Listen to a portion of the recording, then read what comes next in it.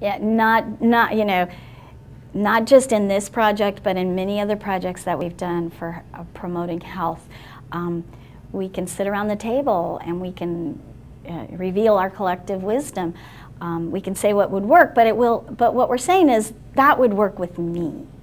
And so what I'm saying is that's meaningful to a 54-year-old woman with two grown children who lives in a mid-sized city in the Pacific Northwest. And you're, you, you just, you know, unless you test it, you can't be sure what it means to your target audience, which may not be 54-year-old women living in Olympia, Washington.